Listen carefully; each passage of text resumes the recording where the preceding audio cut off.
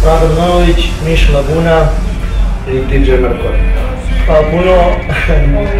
Ljudi koji su bili ovdje mislim da, da, da mogu naj, najbolje da kažu svoje utiske. Što se mene tiče, nadam se da se više snaže sa mnom. Da. Ovo je bilo nemirovno pred kraj, da nešto pukne.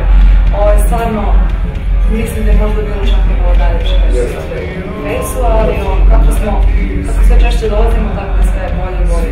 Tako da, sljedeći put ćemo verovatno slušati klub, se desiti, ali ovaj, evo ja sam baš onako istrošena, ali samim tim e, nekako i napunjena energijom ono večerašnjeg od strane publike koja je to eto četiri sata ostala u klubu i nema mi reći, četiri sata smo pevali bez prestanka i svi su oni pevali s nama.